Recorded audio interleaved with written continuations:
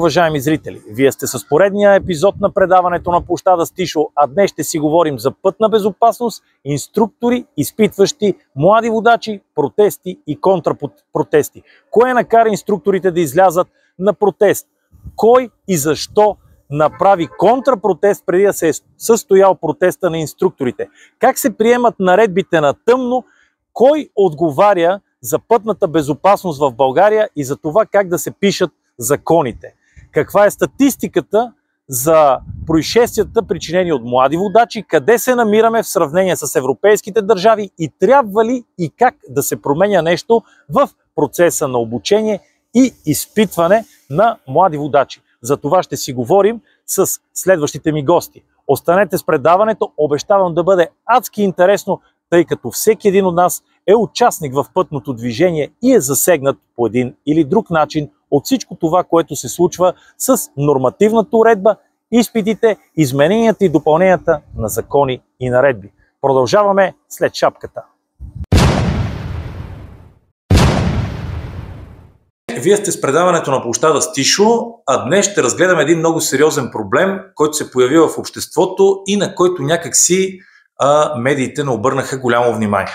До мен е Трендафил Маринов, председател на Български автоинструкторски съюз и Тодор Томов, който вече ми е гостувал един път по повод една катастрофа и едно убийство на човек следствие а, неизпълнени правила, така да го кажем. По време на предната кампания хора от НСО, спомните, край Варна убиха човек на едно кръстовище, за който случай бях поканил Тодор Томов а, като експерт да обясни а, на вас, зрителите, какво точно се е случило. Очакваме и там все още от държавата а, яснота по въпроса, защото това, това е ежедневие, но повода, по който сме се събрали днес е протеста, който вие направихте, следствие промените в закон с движение по пътищата и това, което вас ви удари а, като нови изисквания и нови правила, доколкото разбрах. Имаше и контрапротест а, и доколкото разбрах, а, контрапротестиращите са, както обикновено, на хранилка някъде.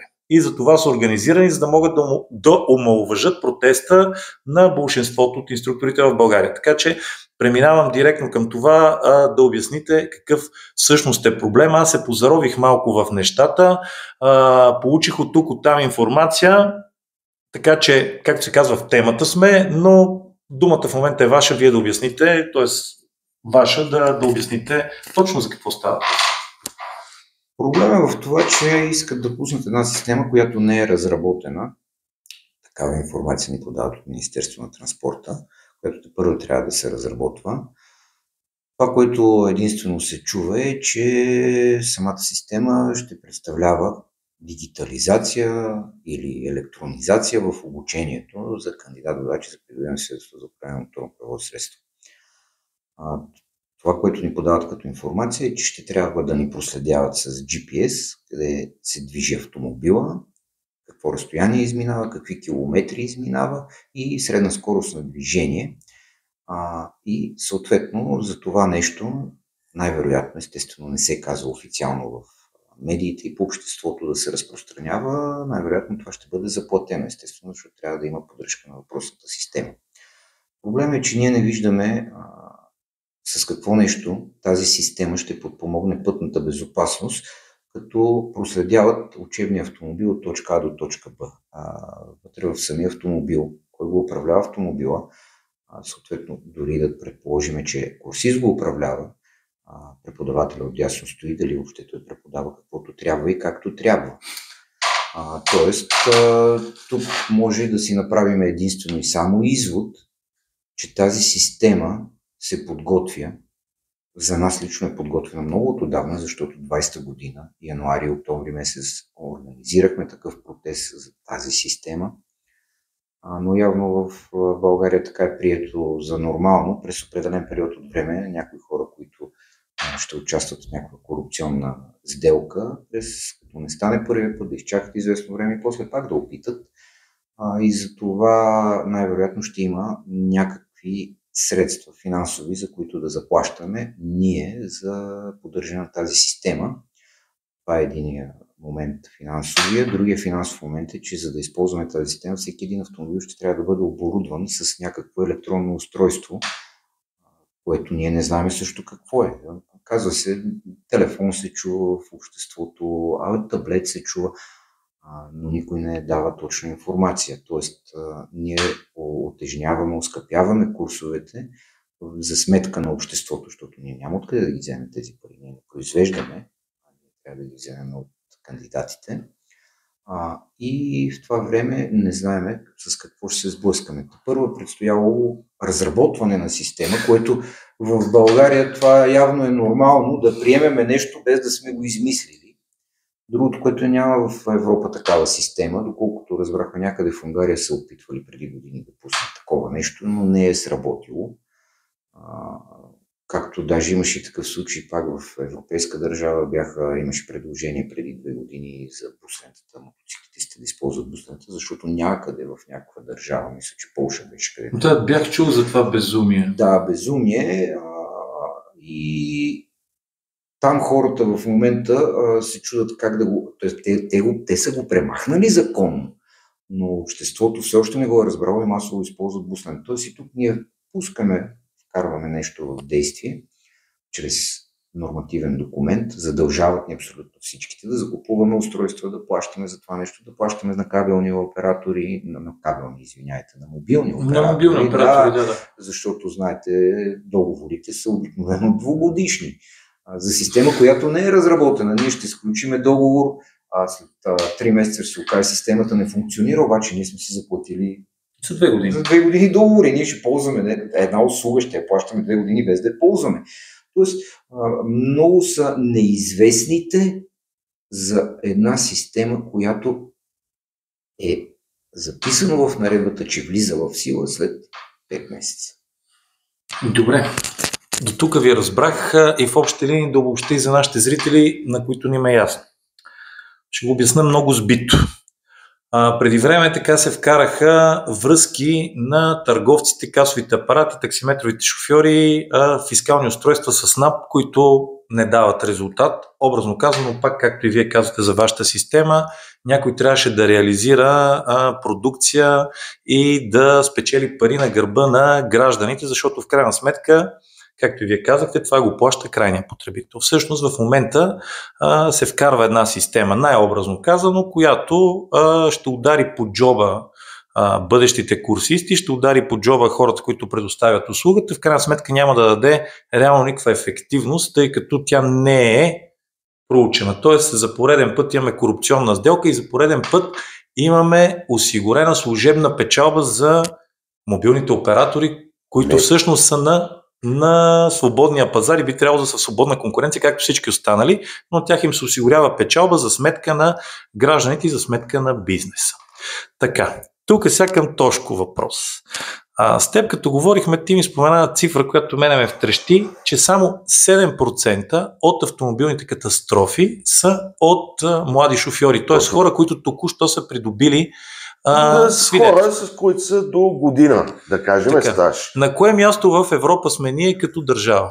А, по този показател. критерий показател ние сме а, държавата с най-малко, с най-малко ПТП-та от така наречените млади водачи. С най-малко. Румъния е два пъти повече. Ако говорим за съседна държава, така, която е в Европейския съюз. Тук те прекъсвам. Това значи, че на практика инструкторите, хората, които предоставят тези услуги, са си свършили работата повече от перфектно.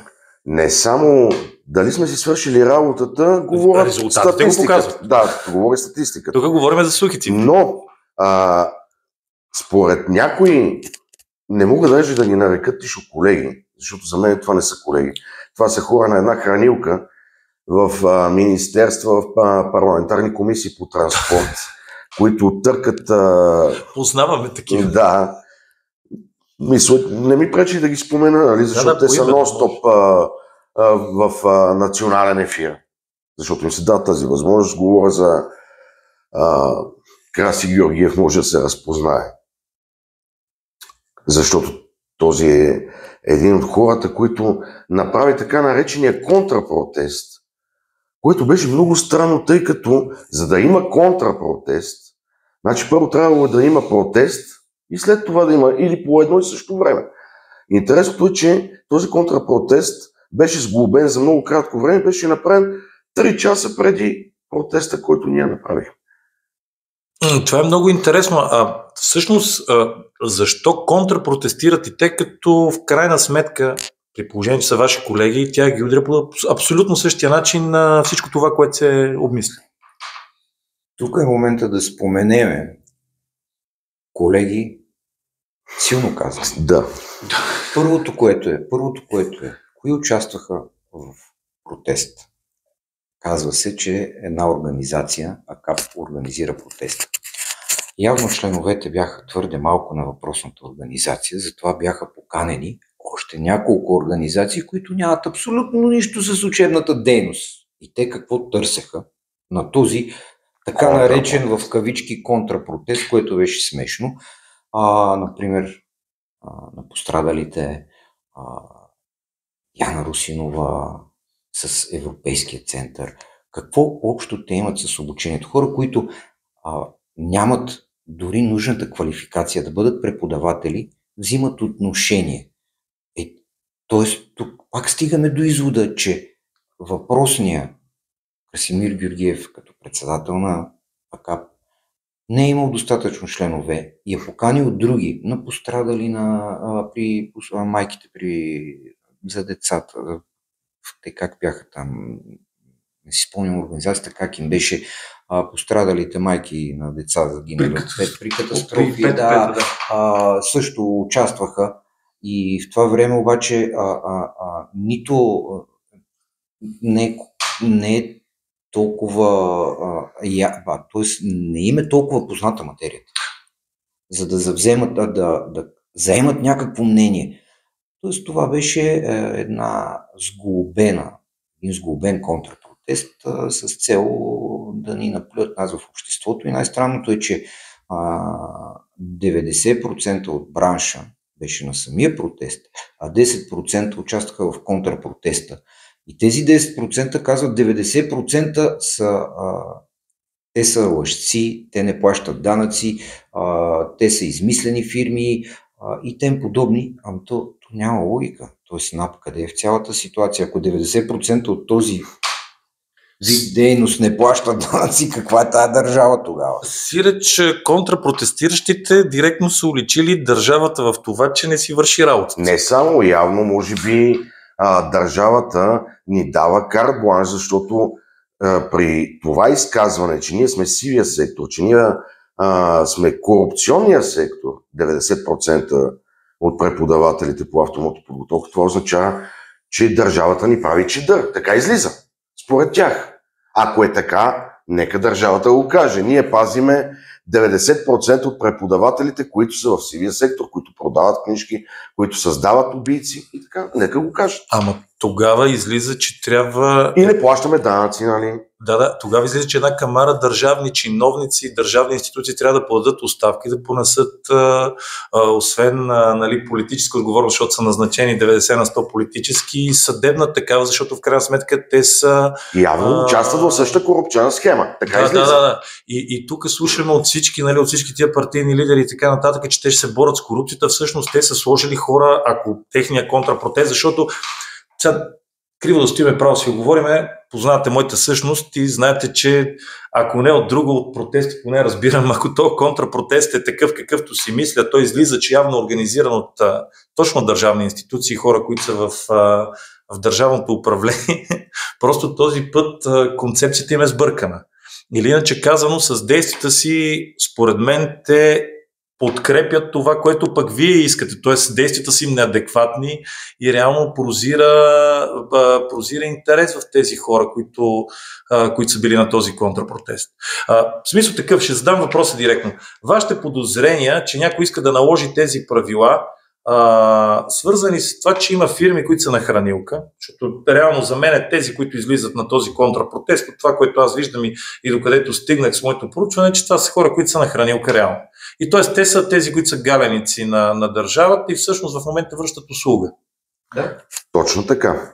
Значи, а, ние изпратихме писмо, защото тези промени, които а, се случват, които ги правят а, зад колисно и си ги прекарват сами, а, срещу тези промени ние пратихме едно писмо до министъра на транспорта, до а, къде ли не, ако щете и Министерски съвет, защото тези, всяка една такава промяна в а, наредба 37, в наредба 38, която касае пряко обучението, а, в а, сам, самия закон за движение по пътищата, защото той е пряко свързан с това, а, трябва да бъде изкоментирана от всички организации и хора, които са вътре в нещата, т.е. с нас. Ние помолихме за такава среща.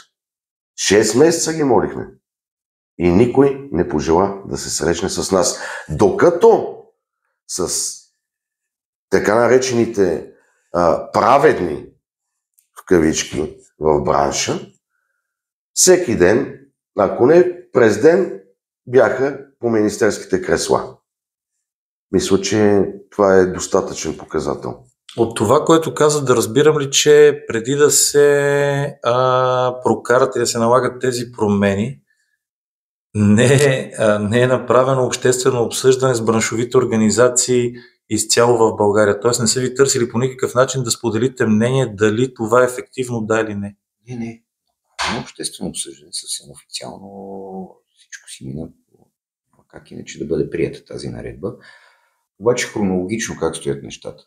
Започва първо една промяна на учебната документация, защото 37 на наредба се базира на учебната документация. Учебната документация това е а, в нея са описани как трябва да протече цялото обучение, какви групи умения и знания трябва да придобие един кандидат-водач, за да може да стане активен участник в движението по пътищата. Тази учебна документация а, е към Министерство на образованието, съответно, понеже а,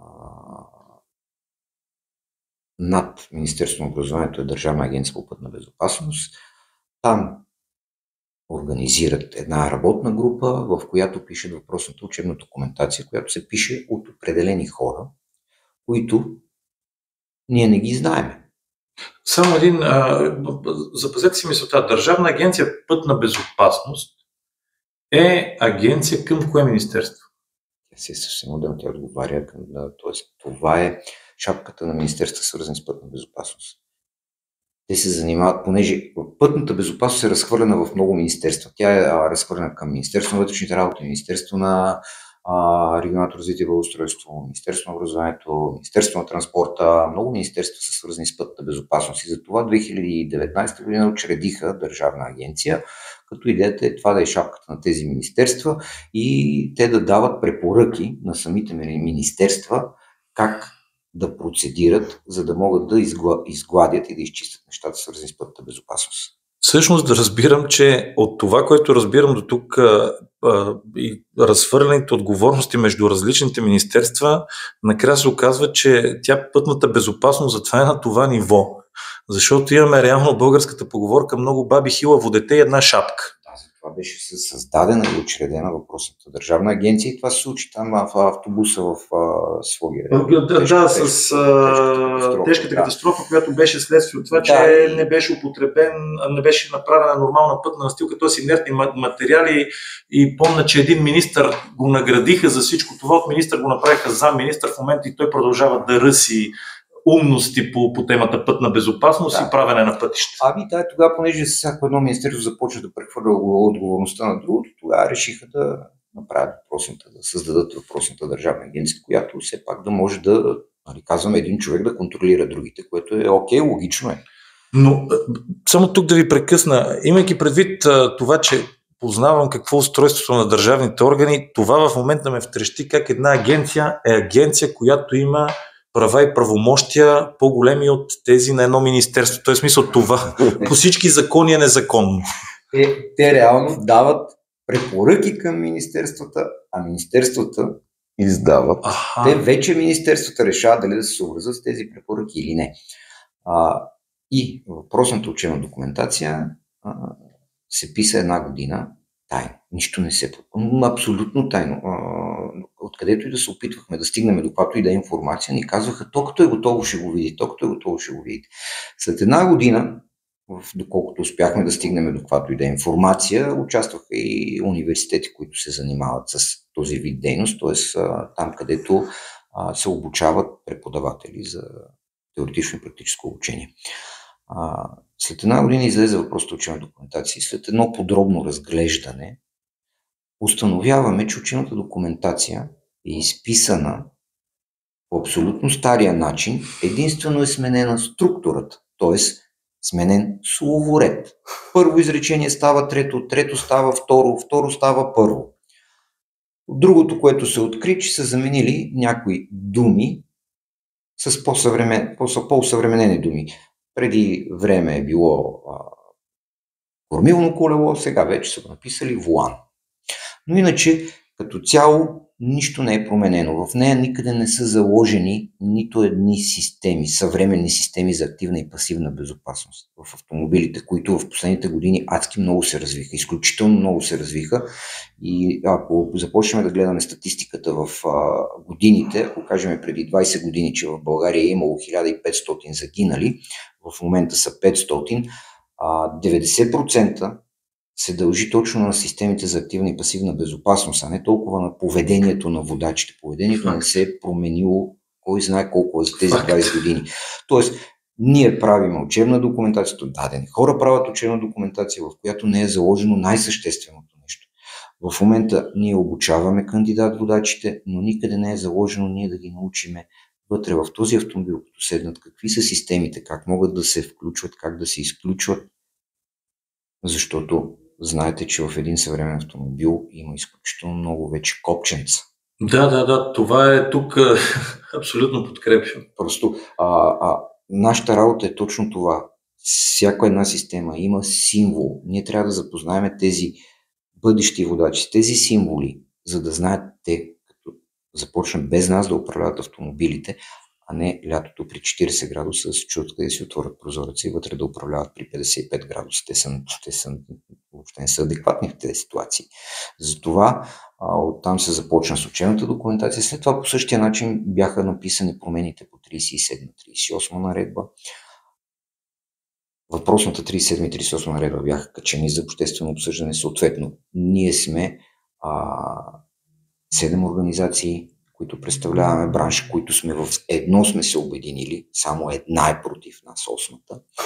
А, и написахме нашите предложения, казахме какви са проблемните неща, поискахме отново да се направи една работна група, в която да се обсъдат промените в 37-38 наредба, съответно да има представители от бранша, т.е. хора, които активно я работят тази професия, а не фиктивно някъде някакви си, а, и съответно да се обноват нещата, след това да се качи отново на обществено обсъждане и да се приемат така, както трябва да бъдат нещата. Другото, което е, а, първо предстоят едни промени в една европейска директива, беше прията преди избра европейските парламентарни избори на първо четене. Сега се очаква на второ четене да бъде прията, съответно тя трябва да, сведе, да се сведе до българското законодателство и ние трябва да се съобразиме с нея. Другото, което е масово в момента по разни комисии се обсъжда промени в закона за движение по пътищата. Тоест предстои една промяна в закона за движение по пътищата и тук пускат 37 и 38 наредба преди другите промени. И след една година или след половин година, когато дойдат другите промени, пак трябва да се променя въпросната 37 и 38 наредба. Обаче като отворите и погледнете най-отгоре наредбата, там са изписани абсолютно всички промени. Това е както в Закона за движение пътищата. В Закона за движение пътища има 110 промени. Ами чакайте, бе, вие през половин година сменяте нещо. Защо и тези наредби през половин година трябва да правим промени в тези наредби, а не се изпишат както трябва и 10 години те да работят така да работят и така да са изписани, че да отговарят на съвременните а, изисквания и автомобилите, каквито са направени в момента. Това е факт. Ние сме го коментирали много пъти и с Тодор, не е приятели, както се казва. Коментирали сме го много пъти. Аз тук иде да задам един пак простичък въпрос, за да може да това, което го обяснихте, да стане още по-ясно. В момента имам един казус с поставени камери стационарни. Знаете, вие пред столична община се похвали, как тук е купила камери стационарни. А, вчера минах покрай една съвсем случайно и просто си зададох няколко въпроса. Споменахте и лицето Диана Русинова. Наблюдавам и аз по националните медии, когато се изказва експертно, понякога нали, като професионален шофьор с над 25 годишен стаж и а, човек, който с личния си автомобил навъртам годишно между 45 и 50 хиляди километра. И а, тук даже го коментирахме. Въпросната камера е поставена едната срещу Рингмол. На моста, който е отвежда към Декатлон. Вчера си задавам въпроса в главата, добре, тази камера е поставена там. Да кажем, че тя, приемаме, че тия камери са някакво превентивно средство. Някаква превенция се търси, която аз няма виждам и ще обясна защо. Защото всички знаем вече, че тази камера е там. Намаляваме до 80, минаваме през камерата, камерата ни снима, че сме в ограничението и след камерата към, надолу към младост, към декатлони, както се казва, към магистралата, почваме да шофираме с 110, например. Тоест тази камера какъв проблем е решила? Там предотвратила ли е ПТП, защото пешеход си няма. В общи линии всички намаляват, не е ясно защо, т.е. тя може да създаде предпоставка за ПТП, защото някой спре по-резко, засилил се е малко повече, да кажем, кара с 100, решава да спре, за да не го снима камерата, да спести едни 100 лева и човека зад него го удря. Сутрин знаете какво е движението, там става една верижна катастрофа. Тоест, а и в крайна сметка не се знае парите от тия камери, къде отиват? Аз тук една справка преди време ми излезна, че 460 милиона от събрани пари от камери са изчезнали. 460 милиона.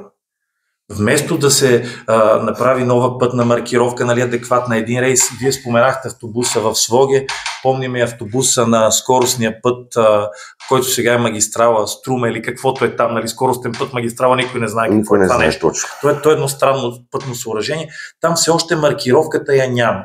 Поставиха се едни табели, едни светлоотразителни тези, които оказват, че има отбивка, нали, но те пак се виждат в последния момент, маркировка няма. При дъжд пък вече тотално водачите не виждат а, какво се случва на, на, на, на самото трасе. Вместо тия пари да отидат на там по някакъв начин, нали, да се каже, направихме това, това, това. Примерно, ето промените, вие понеже а, предполагам, че и там като район го а, а, действате го с курсисти, където загинаха момчето и момичето на, на сливница прегазени, Виждат и там какво се направи. Всяка една фирма от столична община, които с пластмасовите колчета получиха един участък, мантинелите получиха друг участък, тия с бетонните прегради трети участък и в общи линии направиха нищо една боза при, при задръстване линейка не може да мине, т.е. по-трудно може да се отвори коридор. Това е единственото, което виждам аз там, като вместо да се получи нещо превентивно, то се получи още по-лошо. Първото, което е дали се спазиха по изисква, изискванията по наредата, защото те на много места, така, където направиха такива, да кажем, ограничители на скоростта и свиха плътното за движение. Съответно, по наредба пътната лента трябва да бъде 4 метра. То много са по-малки. В момента, като ги свиха и станаха под 3 метра, дори по старата наредба, да променят новата, беше 3,50, след това стана 4 метра. А, като сложиха въпросните ограничители, а, те свиха пътната лента. И тук вече идва другия проблем с а, въпросните превозни средства с специален режим на движение. Една линейка, която няма откъде да мине. Пожарна, примерно. Да, а, особено в час пик, все пак тук е столицата, не сме малко населено място, трафика е изключително натоварен. Тоест, това са едни такива а, временни решения за пред обществото. Значи, а, България е, може би, държавата с най-лоша организация на движението. Тук съм съгласен, после още няколко примера ще има. Вие да ги просто, коментирате като специалисти. А, нито а, а, няма да коментирам, защото те са толкова много кръстовищите и пътните възли, които са толкова недомислени и направени и светофарни и не от хора, които хабер се нямат от деца вика от движение по пътищата а, няма по-лоша пътна инфраструктура и по-лоша организация на движението, отколкото в България никъде другаде. Курсисти ми задават въпрос, когато стигнем до такъв тип пътен възел или кръстовище. Добре де, ама защо сега е така и защо не, аз не мога да го обясна, защото аз самия нямам обяснение. То много хора сме така. аз самия нямам обяснение. Тук най-простият пример е, най-простият пример. Преди известно време имаше зелена мигаща светлина. Помня, да, и таймери. И таймери имаш по едно време. Таймерите от отдавна отпаднаха, но по закон си съществуват. Зелена мигаща светлина никъде не съществува. В закона няма понятие какво. Тоест няма дефиниция на зелена мигаща светлина. По презумпция, пътя на логиката, ние обясняваме на курсистите, че започнали да мигат. Това означава, че предстои смяна на сигнала, който е забраняващ и съответно те трябва да започнат да намаляват скоростта, за да спрат. Мотива, един от мотивите, поради който премахнаха зелената мигаща светлина, знаете, предполагам, кои са хората, които я премахнаха. Няма пак да ги споменавам имената, вече ги споменахме. А, премахнаха зелената мигаща светлина. А, мотива, първия мотив беше, че няма дефиниция в закона за движение по пътищата, а пък за да запишем дефиниция в закона за движение по пътищата е един сложен процес, защото няма през Народното събрание всеки един закон. Той трябва да бъде гласувано от народните представители. Затова а, това беше един мотив. Другия мотив е, че като почне да мига зеленото, водачите не намаляват, а те ускоряват. Ето тук се връщаме пак към това нещо, че тези хора, които излизат и го казват това нещо, те въобще не разбират нищо от преподават, преподаване, защото абсолютно всички ние, инструкторите, точно това учихме всички курсисти, че като почне да мига зеленото, ние трябва да започнем да намаляваме, ние трябва да почнем се от някъде. Да, Окей, има водачи, които ускоряват, но те са взели книжка преди 20 години. Обаче ние ако не почнем да започнем от основата, да почнем да променяме нещата и сега ако започнем тези водачи да ги учиме така, те така ще си изградат навика и за бъдеще да бъде. А, това беше втория мотив. Какво стана обаче тук от няколко месеца? Хоп, Ами ние направихме едни изследвания, то се оказа, че толкова ПТП-та нямало при зелена мигаща светлина и затова те улеснявали водачите. Ние ще върнем зелена мигаща светлина същите хора, които я махнаха. А сега, какво става са? Едните, едни взимат пари да ги махнат, после същите взимат пари да ги сложат. Значи в България ремонта на ремонта и премахването и вкарването на неща винаги е било свързано.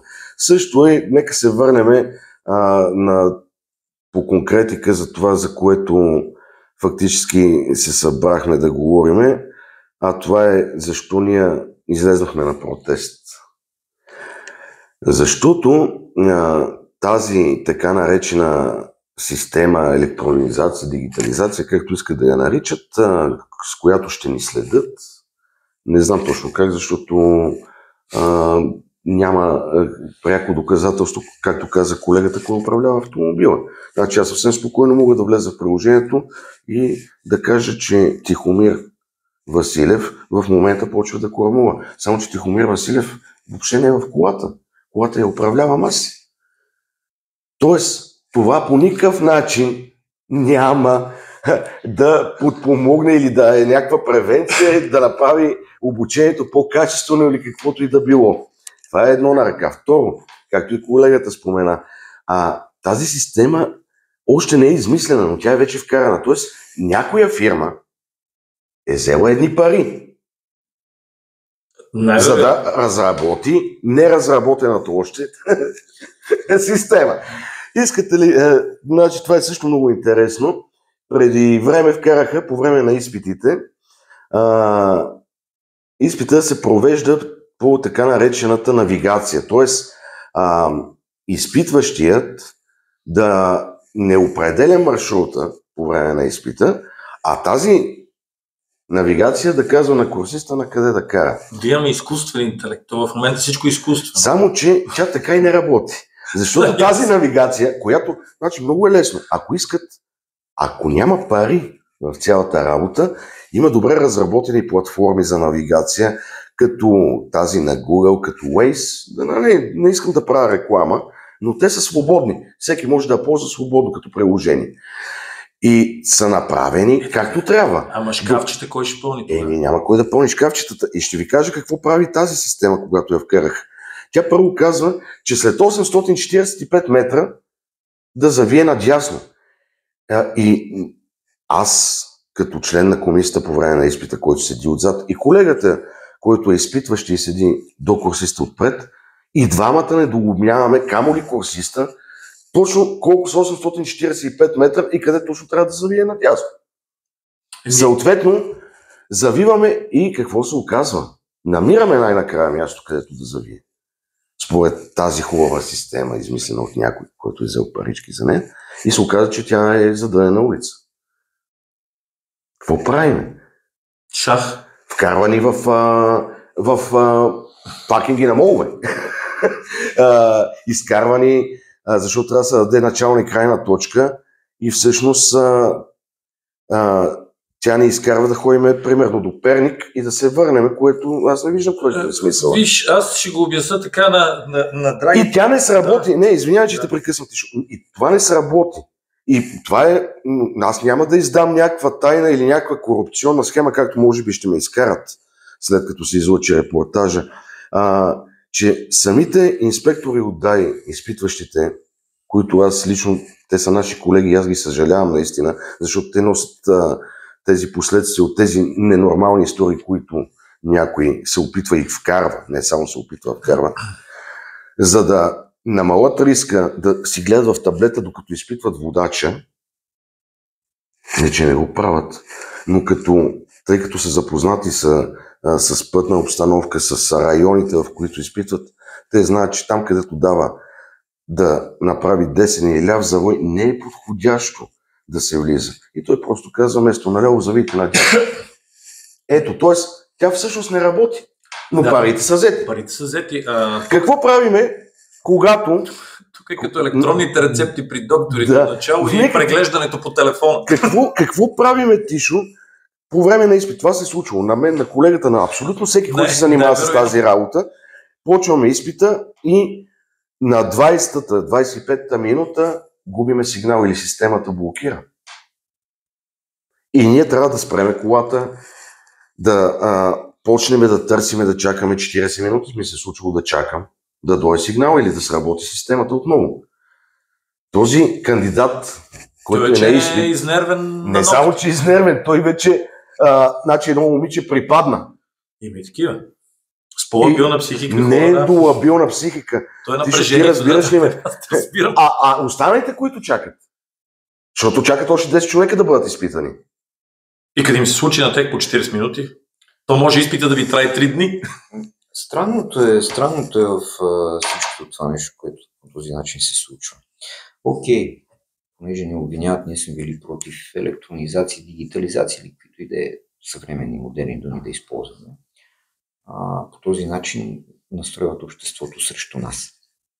И а, тук много пъти сме го казвали и аз и моите колеги, че ние не сме против, каквото и да е, но да бъде направено както трябва, да бъде тествано, да се види има ли ефект от това нещо и съответно а, тогава да бъде прието като правило. В случая тук нито има разработена система, Странно кой я разработва, защо не виждаме кой ще я разработи, на кой е дадено това задание. Защо не е дадено това задание на 3-4 фирми? Да има няколко задания. То вижте, то най-вероятно е дадено на някоя то е наша фирма. Да. Всичко вече, това е то, ясно. То е да, направено. Това е дадено това е, на наша това е, фирма, това е ясно. Това е ясно, че е разработено всичко, че е готово всичко, единствено а, не искат да ни кажат, те първо ще го разработвали, което пак е една, една от поредните лъжи във всичките тези години, защото още 19-20 година се тестваше една система от въпросната организация, която правеше контрапротеста, а, и която не, не функционираше дори и тогава.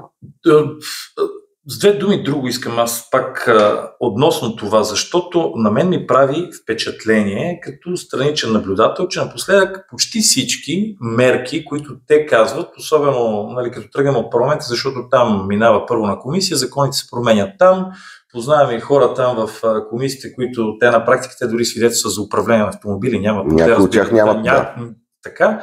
А, защо са насочени а, само срещу а, младите водачи, т.е. срещу тези, които ще придобиват свидетелства или срещу обучението, при положение, че пак искам да заостря вниманието. 7% по този показател ние сме на първо място, т.е. при нас са най-малко. Най-малко, не на първо. Да. Най-малко, да. На, става да. ние сме първи. Положително. Положително сме, т.е. младите водачи, тези, които са придобили свидетелство, а, са най-малкият процент от тези, които причиняват ПТП. Точно така. така. Въпросът ви тук е следния. Защо към 93%? Това са водачи, които имат стаж над 5 и над 5, над 10 години там не се мислят превентивни мерки, а се удрят, примерно, инструкторите, удрят се младите водачи, удрят се тези, които те първа ще започват да записват курсове, нали, ги вкарат в такива едни дивотийски дивотийския а, там какво беше, Всичко? навигация и така нататък. При положение, че ето виждаме, виждаме кой уби човек на кръстопътя а, край Варна за една предизборна кампания. Виждаме катастрофите, ограничават им а, а, мощностите на автомобили, това тъпотия невероятна, Абсолютно. ограничават им, имаше някакво предложение, това искам да го коментирате, младите водачи да не а, шофират, да не управляват автомобил вечерно време на фарове или само с придружител, или някаква такава тъпотия беше. Тук обаче, ето го пак парадокса. Казват, младите водачи няма да управляват, обаче въпросите контрапротеста, които организираха, казват, а, ама то никой не кара нощно време.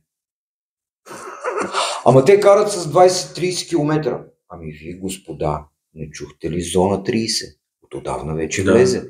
Тоест, вие ни принуждавате да караме с 50 при зона 30.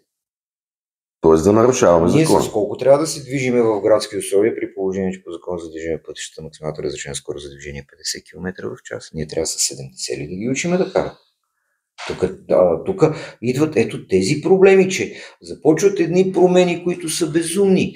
А, има един член 181 алинея 1 точка В от Закона за движение по пътищата, който гласи, който гласи, че всеки един водач, който извърши нарушение поради незнание, му се отнема свидетелството за управление и подлежи на проверочен изпит. Така. Обаче тук сега идва другия въпрос.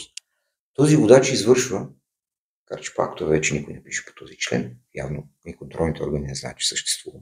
Но тук идва другия, другия, другия проблем. Тоест, ние спираме водач, който извършва нарушение поради незнание, отнемаме му свидетелството и отива на изпит. Ама добре, де, той не трябва ли първо да мине обучение, за да стигне до изпит? Да, това е интересен въпрос. това е интересен въпрос, риторичен, интересен. Тоест, а, тоест, правиме промени пишеме текстове по закони, по подзаконови нормативни документи, които първото, че един друг се бият. Се бият. Второто, което е, са безумни. А, и до кога? Ето това е нашето искане, за това беше този протест. Че е хубаво да седнат, да се напишат, ние нямаме против каквато и да е промяна. А, не знам защо постоянно говорят електронизация, дигитализация, ние сме отказвали. Но едно Министерство на транспорта, което има много повече задължения към други неща, други институции, защо не дигитализират елеката почтите? А в момента почтата чакаме по 30 дни за едно писмо. Да, тук... И те ни пращат по, по български почти ни пращат уведомление. Така е, така е. 30 дни го чакаме. Обаче понеже там няма как да изкараме пари, айде ще вкараме GPS и по колите да ги дереме тия за пари. Еми, ай стига толкова. Ами, аз само тук да, да припомня на, на драгите зрители, за електронно правителство си изхарчиха над 2 милиарда евро, ако се не лъжа, от Томислав Дончев, за да имаме такива електронни услуги. Това, което вие нито в общи линии няма нищо. Дойде след това и другия там от ПП ДБ, който и той беше стоял по, по кабинетите на ГЕРБ като помощник на Бачварова, Божанов и той електронизираше всичко. В крайна сметка знаем, че всичките тези фирми, които се занимават с тази дигитализация електронизация, са спонсори на партията от властта. Да си го кажем в прав Разбира текст. Се. И целият този масрав, за да им намираме работа на тези хора и да им плащаме постоянно, той удря различни браншове, в случая ваши. Ни не само. А, тази, тези всичките глупости, които се вкарах, защото за мен това са пълни глупости, искам само някой да ми отговори на въпроса. С какво тези промени, с какво това, че ще ни дигитализират чипчета, ето, мишените тук ще ни следят, ето като червена точка, къде се движиме, само че не се знае кой кара колата, пак повтарям. То малко е като държавата, това така, всичко е дигитално, искам, не се знае искам кой да попитам, това с какво ще подобри качеството на обучението? На кандидат шофьорите. С какво те ще станат по-отговорни на, на пътя. Много се извинявам. Само, че ние в жабките на учебните си автомобили нямаме нито бели прахообразни вещества, нито хапчета с а, различни цветове, нали, тип норофен, нали, както на норофенил се някои. Да, нали? тия, тия субстанции, така, в, едни, в едни други автомобили с специален режим. Да, ги има. има скъпи. Така, ние не учиме тези кандидат шофьори, не ги учиме да пият по три водки и да шмъркнат по една магистрала преди да се качат в автомобила. Не ги учиме. Не ги учиме да карат при ограничения, както споменахме убийството на двама млади хора преди вече година. Нещо ще стане, може би, на пешеходна пътека на Централен булевар. И преди 6 месеца, няма и 6 не месеца. Ги учиме да карат с ограничение, когато той е 50, да карат с 120. Да, да, където биха човек там. Така, едни, така, така, така. Другари. Да. Значи, нещо сбърканото идва на друго място. Плюс това, след като говорим за следното и даваме статистиката за пример, наистина това, което иска, може да го провери. А, то може да излезе всеки един да го провери в КАД, да се пусне една справка и тя ще излезе. За кой, кои са масата от нарушителите и кои масово правят катастрофите. Това не са младите водачи, както споменах. Те са много малък процент. Големия процент е от водачи с по-голям стаж и от чужди граждани, особено лято, знаеме. Да, да, когато пътуват които са, които, между другото, са абсолютно безнаказани, тъй като нашата държава не желая явно от тях да се събира парите. Факт. По-лесно от камери да снимате горе като на, на ринг мола и, така. някой финансов министр да ги прибира. Така, искам... И, 60, и 60 мисля. Искам, искам да попитам... Или 20 и 60 да. Искам да попитам и някой да ми даде конкретен отговор. Дори това да е а, хората от контрапротеста, нека и те имат право на отговор, аз съм съгласен, но да отговорят да, с какво тази, тези промени ще подобрат обучението и ще намалят пътните происшествия. Това искам да попитам аз. Основният мотив на контрапротест е, че еле инструкторите не си давали часовете. Обаче, странното е, че няма нито една жалба. Да, интересно е. значи, ако, ако ти тишо се запишеш при мен или при колегата за курса и аз ти кажа, бе, Тишо, а, я подписвай тук, супер си, че е такова, ме, няма да си кажеш, че ти, няма ли да кажеш, бе, чакай, аз съм си платил човек. Да. Защо да не ги карам? Абсолютно. Абсолютно. Защо няма нито една подадена жалба от а, Курсис, че някой от нас, така наречените сивия бранш сектор, и както всяк ни изкарват, защо един наш курсист не е отишъл да се ужали, да каже, абе, то не ми даде часовете. Или то ме излага. Карах 15 минути. Добре, друго искам да те питам. По този повод, нещо да ми кажеш. Колко са, чисто като процент, ако имате информация, колко са скъсаните на изпити? Процент, годишно. Значи, по принцип, пак това е много, но и това може да се провери, защото все пак протоколите ги има. Дай горе-долу нещо. Ами, ти ще... Да кажем от твоята практика при тебе. Примерно от 10 курсиста. Не, аз няма си правя реклама, нито на моята практика, нито нищо, но ще, не кажа, реклама, но, ще, но, ще кажа, но ще кажа следното. А, нека го кажа така. Процента на изкаралите от първия път изпита си е много по-висок от тези, които са паднали. Официална статистика от Министерство на транспорта това те ни го дават да. като информация, защото да, да, да, да, за такова нещо. България, Факт, каквото ви дават, да. 70% от кандидат-водачите взимат изпита от първо явяване, практически изпит. Това на практика означава, че пак стигаме до там а, вие като бранш, говориме като бранш, като общо, сте си свършили работата тотално добре. Ами мен. така, нали, така, така сега така излиза заради статистиката, заради цифрите. И другото, което искам много да на, натвърда на това нещо, че ние като инструктори, като преподаватели, не даваме шофьорски книжки. Факт. Изпита се провежда от служители на Държавна автомобилна администрация така, които, изпитвайки кандидат шофьора, преценяват дали той е достатъчно подготвен, за да му се пише оценка, да, и той утре да излезе на улицата. Тоест, явно и според контрапротестиращите, явно и тази част, която е държавно звено, явно и те или са глупави, или и те непрекъснато взимат пари. Ми, те може утре да искат и тях да ги дигитализират и да поставят вътре Ама ние, робот. Нали? Ние сме дигитализирани. То вече е направено. На изпита по управление на, на теоретичния изпит се провежда единствено и само в техните държавни учреждения. Те сложиха. Те сложиха робота с да. въпросния маршрутизатор или каквото, както искат да си го наричат, навигатор или каквото и де. Има камера в колата по време на изпита. А, Моля ви се, е... която има и звуки, картина и снима и какво се случва пред автомобила и какво се случва вътре в автомобила. То вие сте като Big Brother. По-зле сме. Там пак може нещо да се скрие при нас, някакво да се скрие, но факт е, че действително на самия изпит, практически изпит, се случва въпросната тази система, която започна да функционира от миналата година есента, да определя маршрутите. На мен лично ми се е случило 30 минути единствено и само да правим десен завой. 30 минути. Е, така. Явно Оценката... в системата е заложено повторението е майка на знанието. Явно Само, че какво правим с левия завой? Нали, хубаво, е, научили сме десни. А в крайна сметка и двамата а, с а, председател на изпитната комисия, аз като член включва оценка да. И двамата се споглеждаме и си задаваме въпроса, а ние видяхме ли дали той може ляв за Ляв за да прави. Днес не го видяхме. Това е конфликт. Това е един от един от най-конфликтни, една от най-конфликтните маневри, защото в повечето случаи се състои в това, че им пресичаме платното за насрещу пъталента за насрещу движение.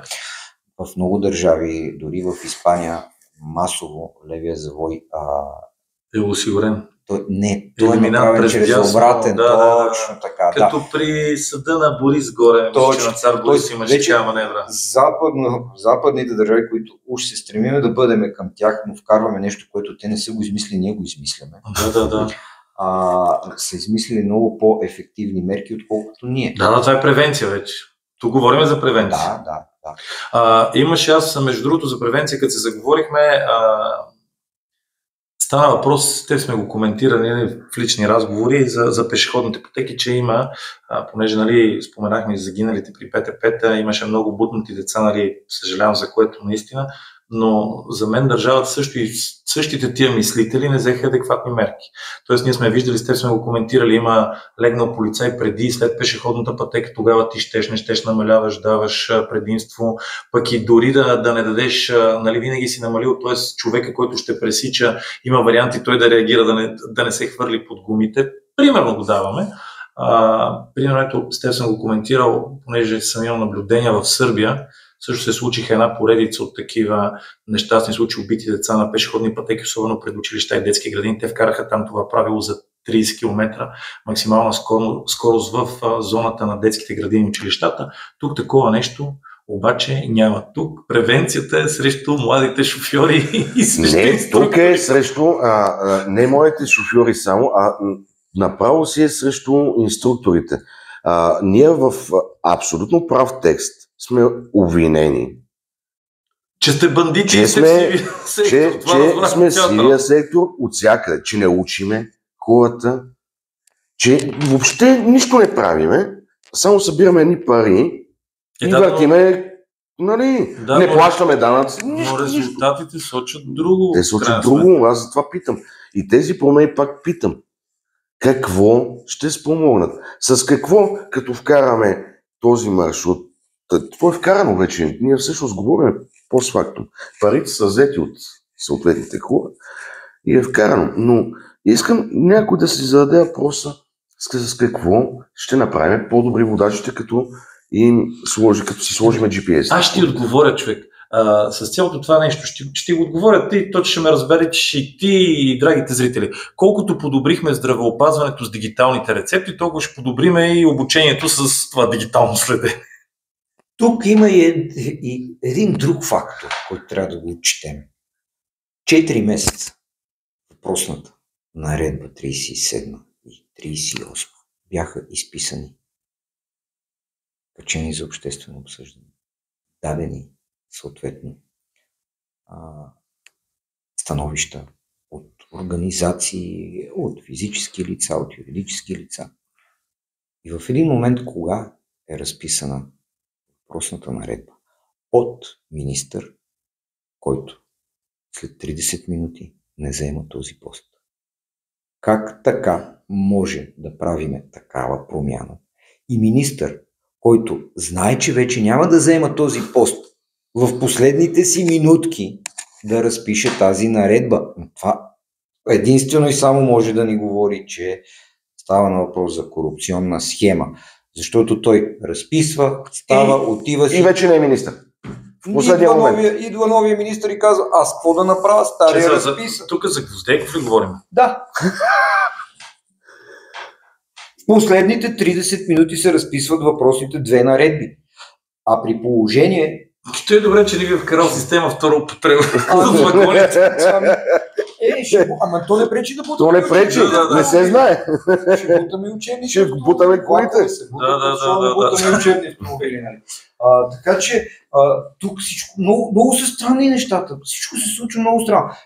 37 на 38 лева бяха обвързани с учебна документация. Трябваше тогава да, да се променят. Обаче учебната документация още няма. Няма. Къде? Няма.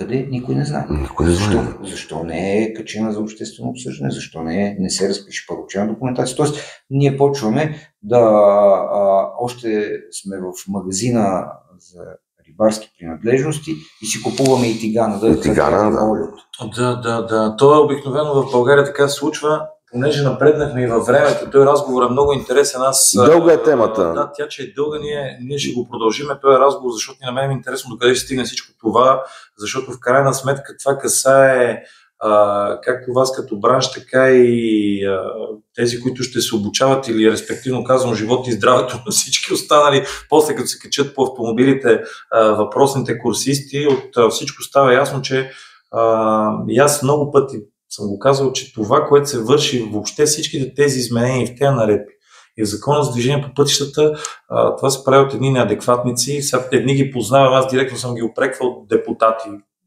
Става въпрос. Опреквал съм ги директно в това, че ако те го разбираха толкова или разбираха от тази материя, ние нямаше да имаме тези плачевни резултати. А, в общи линии, наистина темата продължавам да я следа и аз. А, Единствено, което нещо, ако съм забравил в момента, аз да ви питам и вие да кажете, да го споделите сега. Значи, нещо, сме пропуснали. Последно, последно искам да кажа нещо, което е свързано пак точно с тази промяна и с тази дигитализация, тази система, която ще вкарат. То е ясно, че ще я вкарат.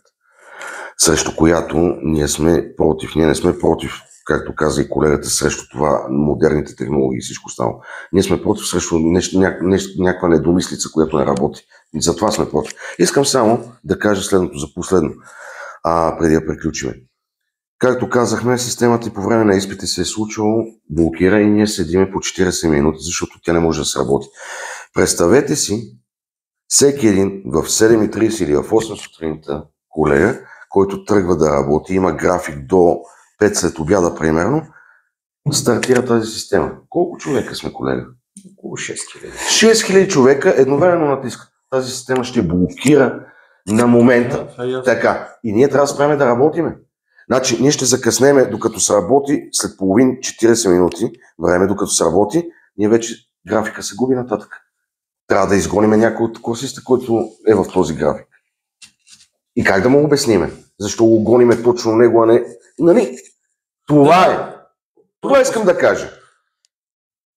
Тук аз бих дал едно предложение на нашите управляващи, които се занимават с тази пътна безопасност, защото ще наливат милиони левове в системи и тем подобни неща, за да променя ли по някакъв начин обучението. Първото, което обучението е дълъг процес за кандидат водачите говорим. Това не е нещо, което се придобива за 50, 100, 200, 300 часа. Това е процес, който е с надграждане. Всеки един водач, като вземе свидетелството за управление в процес на годините, той надгражда и надгражда и надгражда. Защо тези милиони не започнат да се наливат в ранната възраст, защото като кажат, ама те водачите, ние при нас всички кандидат водачи са навършили 18 години по закон, за да могат да имат средство за управление. Ние не може психологически да им влияеме. Те вече са изградени като характер. Тоест, За да започнем една промяна, която ще даде в бъдещето резултат, ние трябва да започнем още от ранна детска възраст. От семейство. Защо никой не започне една кампания масова в България, понеже в а, образователното министерство казват, програмите са много натоварени, учените дисциплини са много, ние не може да дадеме толкова много часове по път на безопасност. Окей, приемаме го, нямаме необходимите квалифицирани служители, за да водят този, тази дисциплина. Защо тогава не се организират едни такива мероприятия от държавата в всяко едно училище, например, казваме, първо училище на 10 съботата се прави 4 часа ден на пътна безопасност. След това отиваме във второ училище, трето училище. И така, още от ранна детска възраст ние да започнем да сформираме характера на бъдещите водачи, а не когато вече те са образували. То, то чисто организационно това може да се направи по общини, може да се направи като учебни игри, дори състезания, ако щете. Там има, имаше го назад. Имаше на времето, на времето назад, го имаше. Да, в, да. ще да кажа в лошия социализъм да, го имаше, да, но той изчезна. И, изчезна и сега даваме милиони за GPS да ни следят и казваме то за нашите деца. Ами, хора, вие за Той вашите за нашите деца, фирми, не за нашите вие деца. За, вие за вашите деца не помислихте нищо от ранна детска възраст. Абсолютно, абсолютно. Не, това е превенцията в пътната безопасност. Да започнем от ранна възраст, за да може плодовете да ги береме. Значи, аз ще ви кажа само едно нещо. Така ми се случи, че тук бях в а, а, Сърбия, но по-навътре в държавата, в един град около 60 хиляди. Това направи страшно впечатление. Там а, спокойствието, с което хората, примерно, тръгват на зелен сигнал на светофар. Нямаше свирене, нямаше газ, нямаше и то. Те, понеже винаги ни дават, а, за пример, нали, Германия, някакви цивилизации, така нататък, това са конши. Казвам в един такъв град а, и просто го коментирахме, защото бях и с хора, които за първ път попадат там в въпросното градче. Коментирахме го и, и на тях им направи точно това впечатление. Самото движение в града, в градски условия. А, самото движение извън а, градовете, защото пътя беше до Смедерево, имаше, нали, докато се стигне до магистралата, имаше извънградски път съвсем а, по друг начин. А, както се казва, имаше едно спокойствие. Няма агресия. Няма агресия. Има да. дисциплина. 30 км на училище ограничение, 30 км се спазват, маркировка, школа, школа, начало, край, ти знаеш откъде до къде и да не видиш знаците, светещи табели, нали, направени такива неща. Тук имаше назад във времето корупционни изделки с светещи. Пък дали отговаря червеното на червеното по закон, па дали не отговаря. Някой ги внесъл от Китай, трябваше да се пласират в столична община. Помните ги тия случаи, предполагам, мисля, че 20-та година беше нещото. Бяха ме търсили тогава пак по, по, по, по този повод, дали е така или не е така, нали, да, да, да видим каква е сделката и това доколко ще обърка а, водачите въобще като цяло, дали ще се вижда на слънце, дали няма да се вижда на слънце, защото знаете, там има, едно, има изисквания за луксови такива работи. Въпросът беше се пласират въпросните табели. Тоест, ето това, този тип корупция убива хората по, по пътищата, това. а не, не обучението. Не обучение. Тоест, мисля, че това за сърбите, което го казахте, аз там ровал съм се по сайтове, открихте, имате едни такива а, интерактивни видеоклипчета, много образователни, да, да. които са изключително кратки. Факт, знам. Те са около 5-6 секунди. Едно най-прост пример. Казваме, извън населено място, движиме се клипчето. Това излъчва.